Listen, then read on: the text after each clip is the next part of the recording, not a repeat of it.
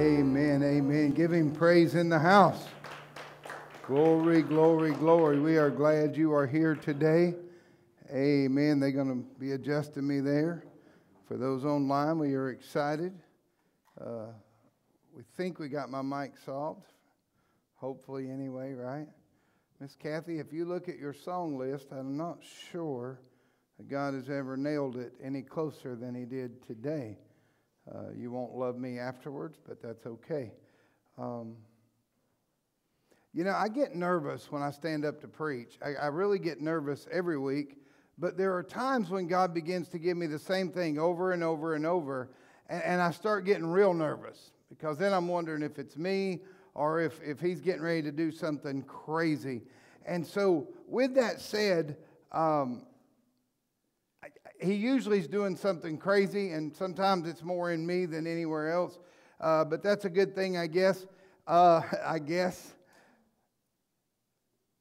I believe there's a revival getting ready to break out in the land.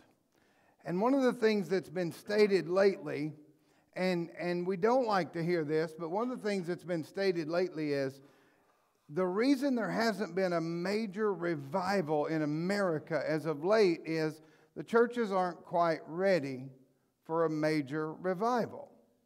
And we don't really want to hear that, but yesterday on the Excellent Ministers page, the page of the Church of God Ministers, uh, there was a pastor in Kentucky that came out and he said, We've been running about 120 since COVID, about 75, and I won't give you a name, but he said, I'm just going to be open and I'm afraid to because I may get crucified. He said, But here's the truth. He said, We get to a point and we stop. And he said, and I'm not sure we know how to go beyond that. I'm not sure how we know how to go beyond that. The Spirit of God moves, the gifts move, but I'm not sure we know how to go beyond that. And I think about things like that a lot, and I'm wondering if honestly sometimes the church doesn't know, all of us just do not know how to go beyond where we're at. And with that said, I believe that's one of the reasons God has called us to imagine greater, but not just imagine greater, but to go beyond where we're at. It's not that where we're at's a bad place. It's not that we're that we've not achieved and that we've not come a million miles because we have each and every one of us. If we died today, we could make it to heaven with, with kudos and crowns. But how much more could we do for God if we could not limit ourselves? This morning I want to talk about uh, stretching ourselves. And I hope this is the last week we talk about it, but I want to talk about it one more time. Isaiah chapter 54. Isaiah chapter 54, beginning with verse 1. When you have it, we'll stand for the reading of God's word. Isaiah chapter 54, we're going to read three verses of Scripture. Isaiah 54, beginning with verse 1. Sing, O barren, thou that didst not bear. Break forth into singing and cry aloud, thou that didst not travail with child. For more are the children of the desolate than the children of the married wife, saith the Lord. Enlarge the place of thy tent, and let them stretch forth the curtains of thine habitations.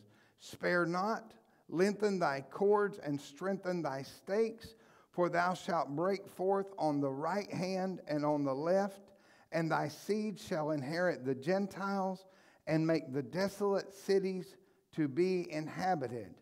Paul quotes this in chapter 4 of Galatians. He ch- quotes chapter 1 of this again, and he's saying to the church that God wants us to stretch forth and be greater than we've ever been before. Before we pay, I want to ask you to do something with me. So uh, we're going to, you don't have to, obviously, it's a volunteer organization. But I'm going to ask you to stretch your hands forward.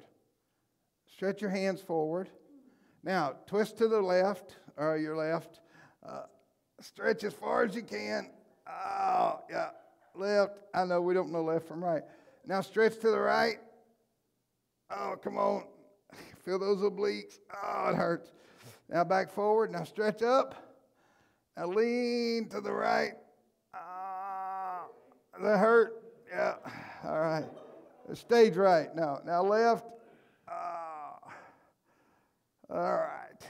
Now give God a clap of praise. All right. Father, bless the remainder of our time together in Jesus' name. Amen and amen. You can be seated.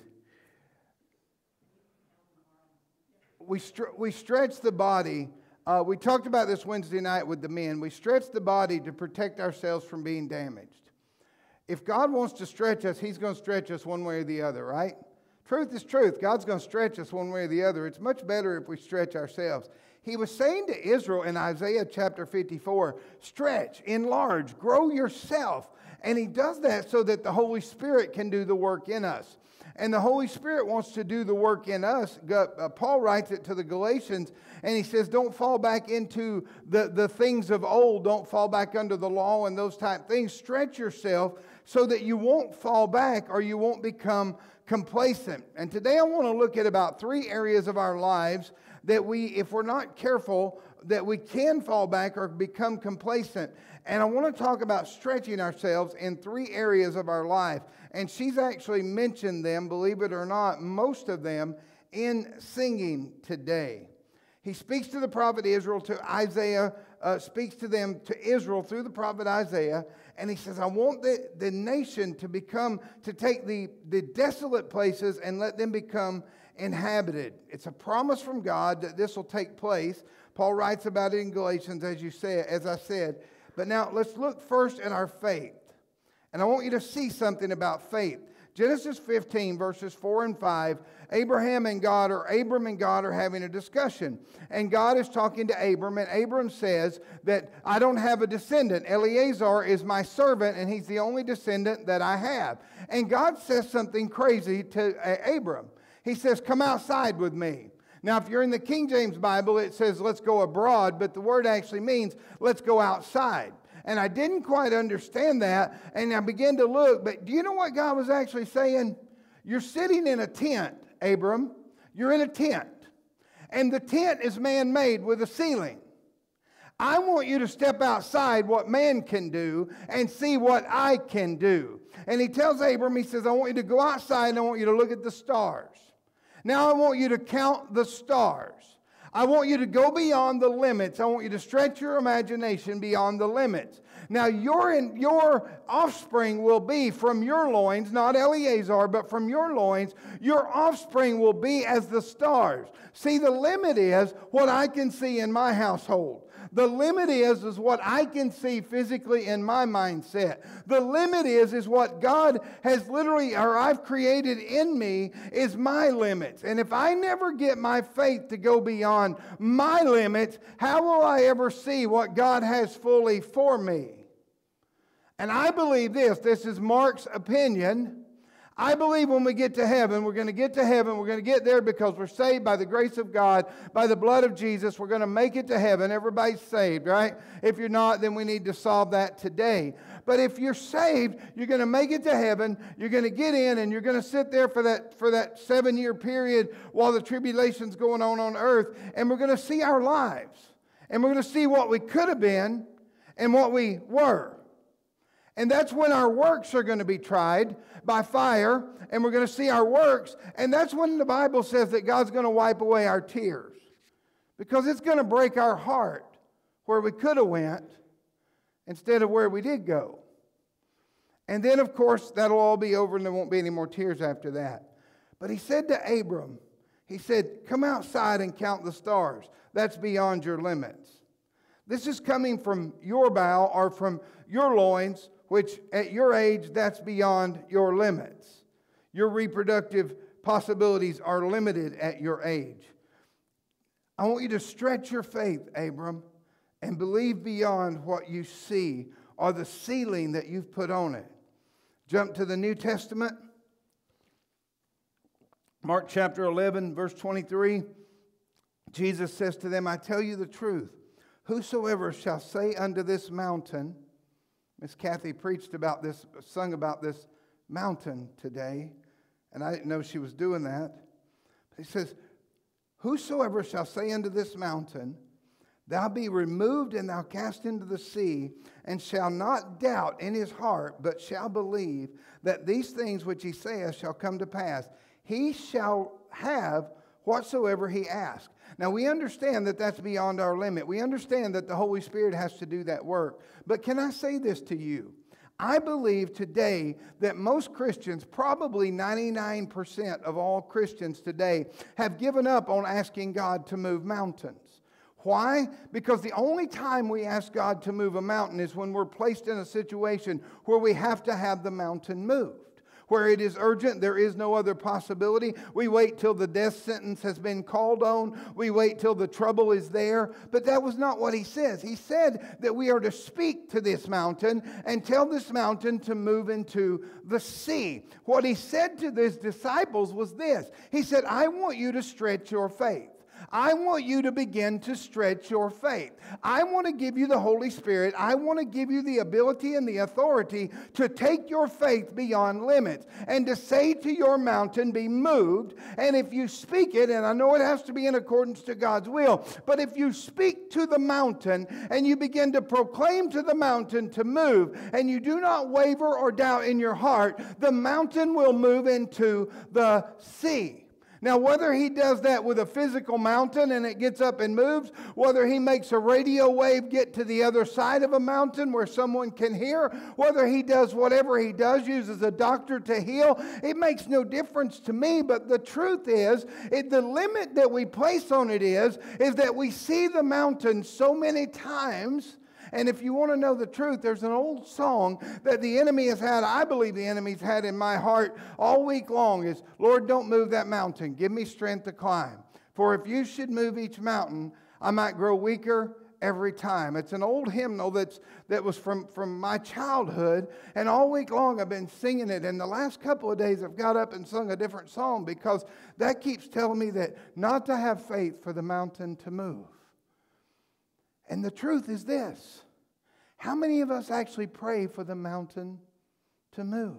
I know that we do, but, but when do we stretch our faith?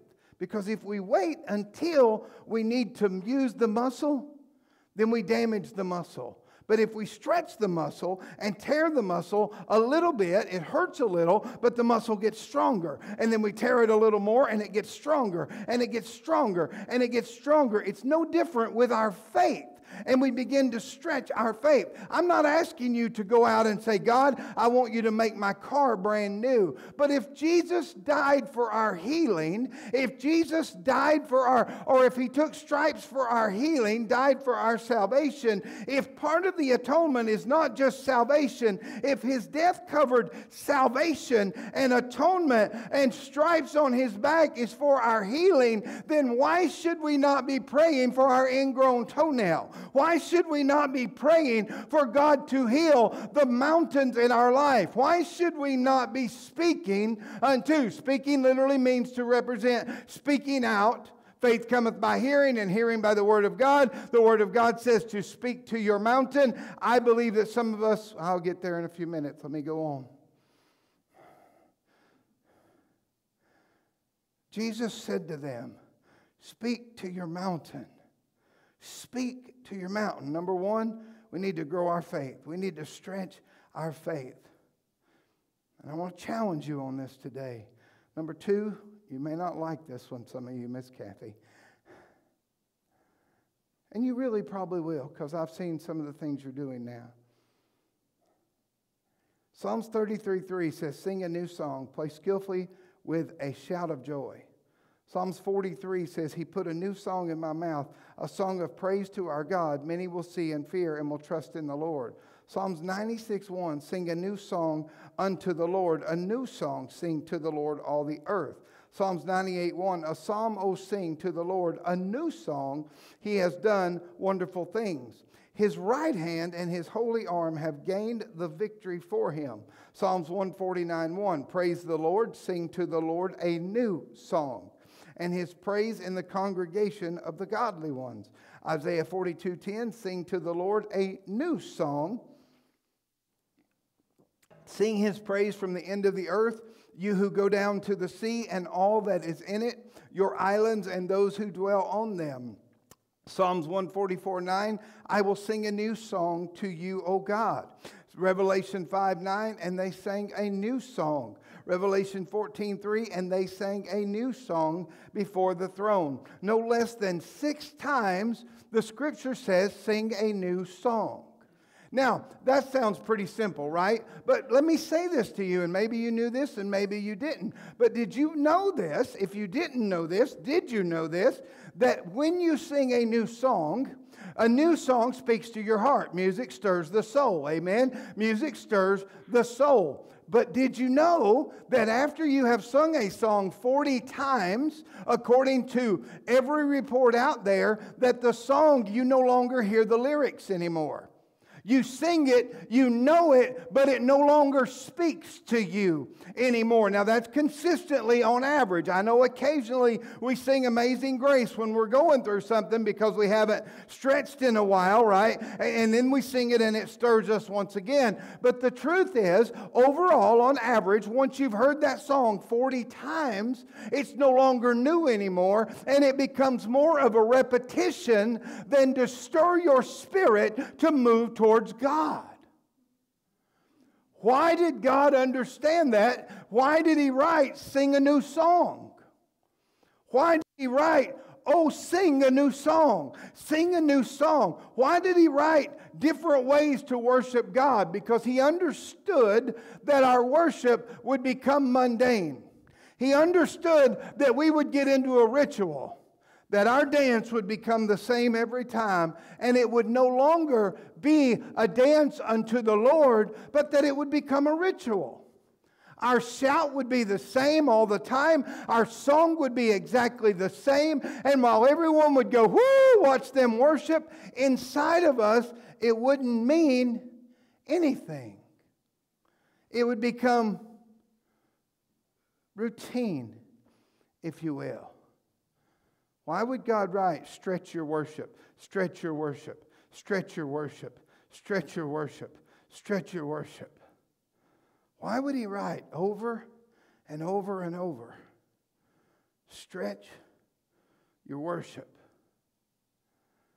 Miss Kathy said the other day on Wednesday nights we come in and we do 30 minutes of worship at 6:30, and, and some ask us to put the words on the screen. And she called and asked that we not. I'm telling on her a little bit, but and, and I thought, well, some of, many have asked that we do, so they'll be able to pick up the song. And she says, well, it stretches me if we don't. And while I was working on this, the Lord said, don't you dare put them up there. Stretch them. Make them work for it. Because they need to stretch. And what I wanted to say is actually, it's not them I'm worried about, it's me. To be honest, it's me, Lord. It's me that, that needs the words up there because I don't, I need the words on the screen when I'm watching TV now. Becca says, Did you see that? No, I was reading the words on the screen because if I'm going to get it, I need to read it, right? The truth is, sometimes my dance is just a routine.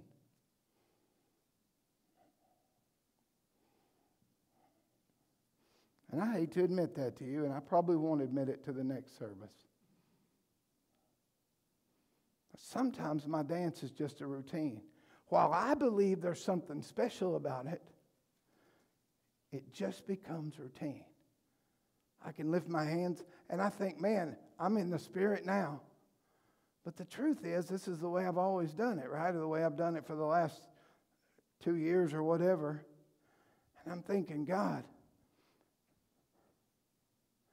if I don't ever stretch me, if I don't ever stretch me in my worship, if you worship like this, and this is the way you always worship, that's beautiful. That is beautiful. And you're blessing those around you, but is it really stretching you? Is it really ministering to God? Maybe it is, and maybe that's that for you, but but maybe it's time you do this. Or maybe it's time you kneel down. Maybe it's time we stretch our worship just a little. Sing a new song. Number three, number, number one is our um, Number one is our faith. Number two is our worship. Number three is prayer. Romans 8, verse 26. Likewise, the Spirit also helpeth our infirmities, for we know not what we should pray, for we ought, for as we ought, but the Spirit maketh intercession for us with groanings which cannot be uttered. And he that searcheth the heart knoweth what is the mind of the Spirit, because he maketh intercession for the saints according to the will of God. And we know that all things work together for good to them that love God, to his purpose, or who are called according to his purpose. I bet you, if I ask you and you honestly answered, if you honestly answered, I bet you almost everyone in this room could say that prayer can become routine if we're not careful. I mean, prayer can become routine. How do I pray? I pray every morning in the shower with the same soap under the same armpit. I'm saying the same words, right? Ha, la, la, la, la, la, la. Washing my hair with that same soap because I don't need shampoo. I don't have enough to shampoo, right? I actually do use shampoo, believe it or not. Praying for the mountain to grow back. I don't want that either. I'd rather not have it. As long as this stays, I'm okay.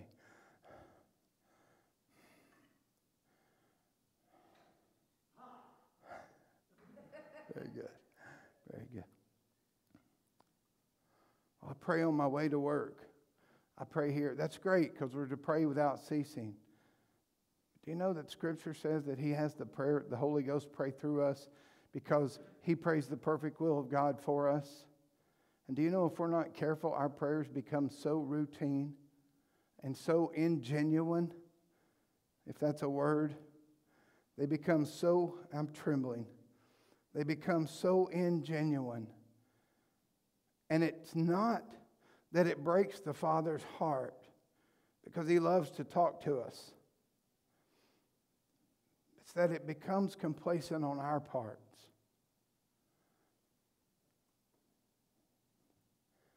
And I believe one of the reasons that he said, stretch yourself, stretch yourself, stretch yourself. And he said it in the Old Testament, he says it in the New, and over and over and over. Why did Christ send the disciples out in the boat know the storm was coming? It wasn't so he could scare them, it was so that he could grow them. It was so that he, the first thing he says is, Ye have little faith. Why? Because he wanted to grow them. He wanted to grow them. He wanted to expand them. He wanted to stretch them. And it's not so that we can be superheroes, it's so that we can receive what the Holy Spirit has for us. It can receive the revival that's coming so that we can receive the outpouring that God has for us. It is literally so that we can be the vessels that we're called to be. And if you can see this, it literally is to be all that we are called to be and to receive all that He has for us.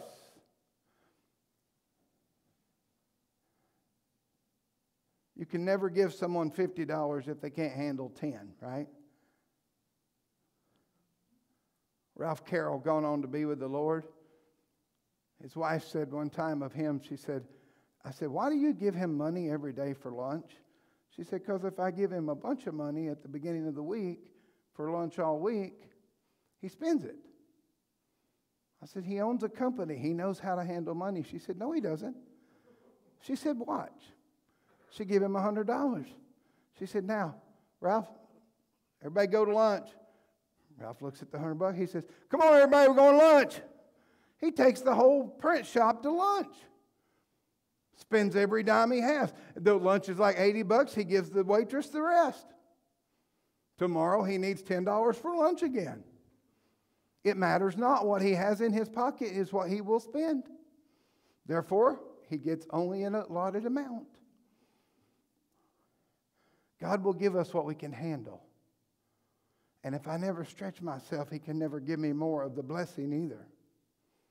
He can never give me more of the healing virtue to pass out to others. He can never give me more of the miracle signs and wonders if I can't handle it. You say, What do you mean you can't handle it? Well, if I start proclaiming that I did it, right? Matthew 18 3 says, Except we be like a child If you told a kid to move a mountain, he'd just go move it, wouldn't he? They'd just accept it. It's got to be, let's do it. Where's my shovel? Let's go. If I told a child today that there was angels in this room, here's what would happen.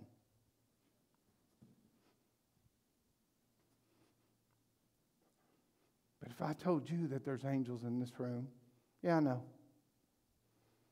But the truth is, there's angels all about us. There's a mighty army.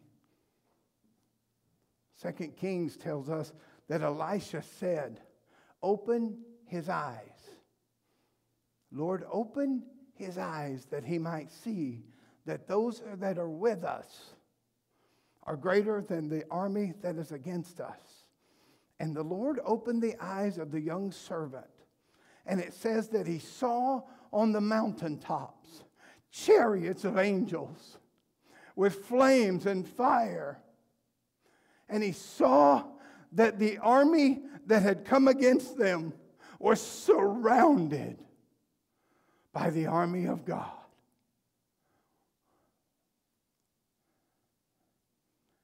And if I can just stretch me to realize there's nothing the enemy has that's greater than the God that resides inside of me. Fear begins to dissipate, anxiety begins to go. And all of a sudden, the Holy Spirit that saved me begins to be able to operate and begins to be able to move because now I've expanded the tent, the tabernacle that he resides in. Don't you love it when people say, I've asked Jesus into my heart? Well, let's give him the rest of us. Let's don't lock him in a room. Let's give him some fingers and some toes and some minds to run around in. Let's stretch this old thing so he can move around.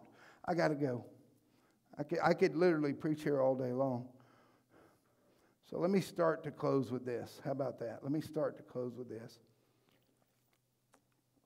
I got eight minutes. God told Abram, Go outside and count the stars. I want you to go beyond your limits. I don't want you to be inside a ceiling. I don't want you to be inside a limit. Miss Kathy sung another song about what you have in your hands. God told Moses to take what he had in his hand and throw it down. As long as you're holding it, I can't do anything with it.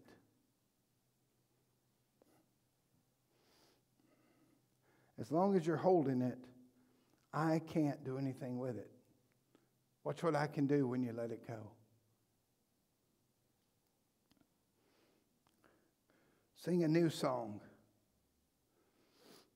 19, 1870, in Westfield College in Illinois, at the annual church conference in 1870, a prophecy was given that people would soon fly like birds. Bishop Wright stood up and rebuked the evangelist for heresy. A few years later, his sons Orville and Wilbur in Kitty Hawk, North Carolina, recorded the first flight ever. The bishop that rebuked the prophecy because he put a ceiling on what God could do. And now, probably everybody in this room has been on a plane at one point or another.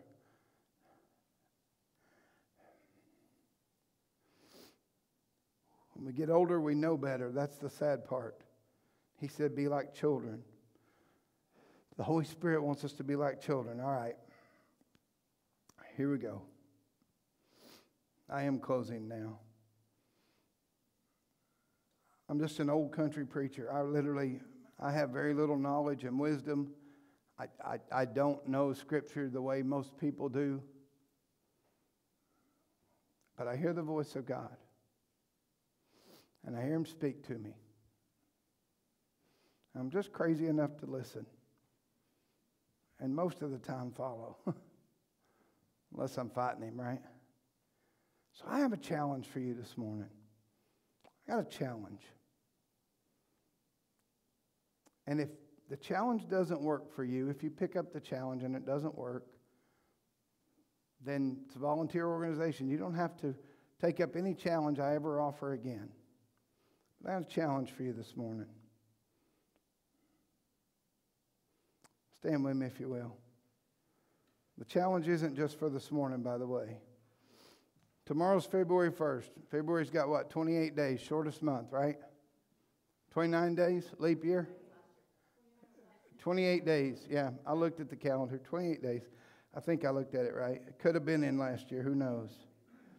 So here's what I'd like to challenge you to do I'd like to challenge you to pick a mountain starting today.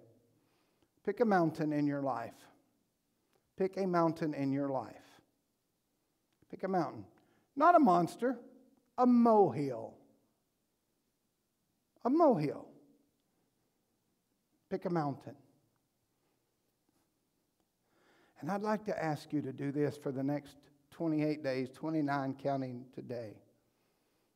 I'd like to ask you to step outside, be it on your porch, your patio, whatever, every day for the next 28 days.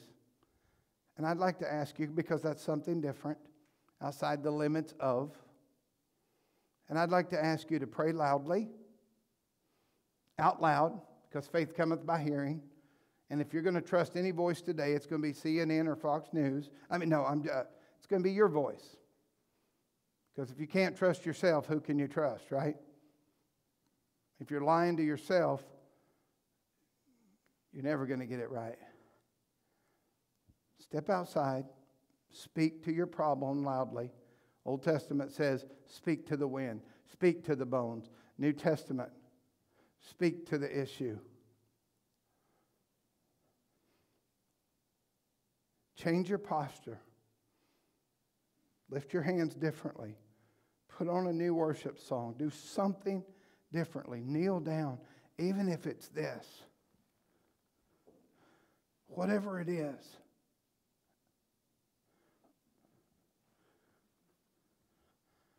But for the next 28 days, change the way you pray about this one mountain.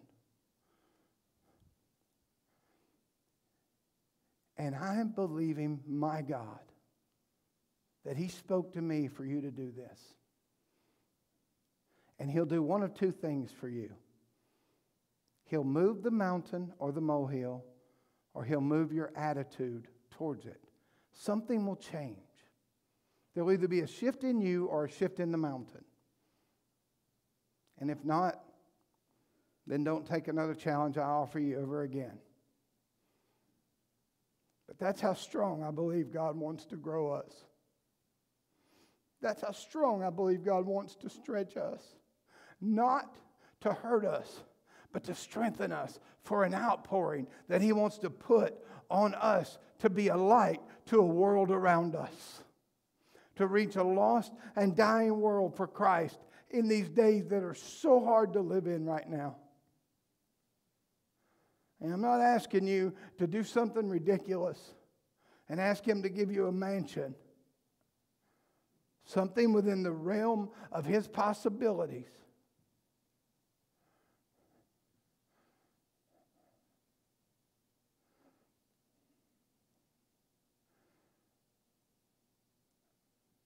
What is His possibilities? In the realm of what He's willing to do. He's not going to break His own law for you.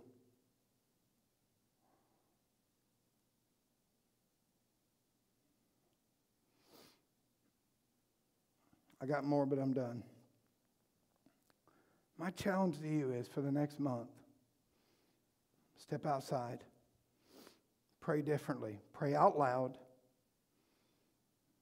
pray for that child, pray for whatever it is. If they're not saved by the end of the month, God will give you peace that they will be. I don't know, but He will make a difference in it, and I believe that with everything in me. And I welcome to meet with you if it doesn't change. I welcome to meet with you if it does. Because I believe he told me to challenge our church.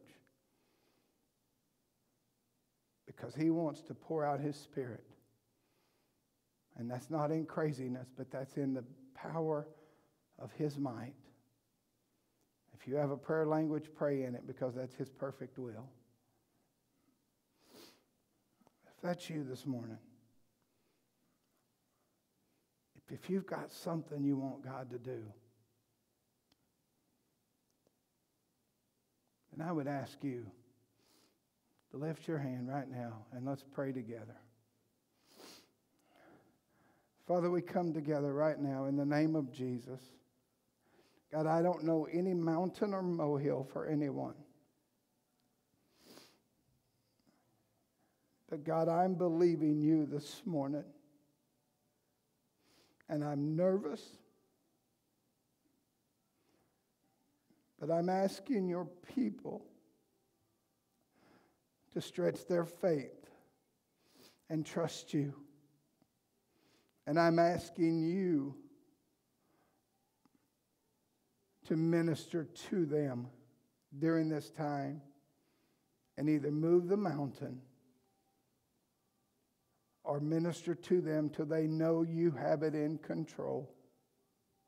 Let it be so evident that there is no doubt. I want to thank you for your word, every part. I want to thank you today that you are a God without limits. And I want to thank you for stretching me, even though it feels like sometimes that it's beyond what I can handle. We love you today and we praise you. Your most precious and holy name, minister to your people, meet their needs. Amen and amen. Thank you for coming and being with us. We love you. Uh, I pray you never think that I'm roughing you up. I'm not. Uh, I hope it never sounds that way. God bless you. Have a great day.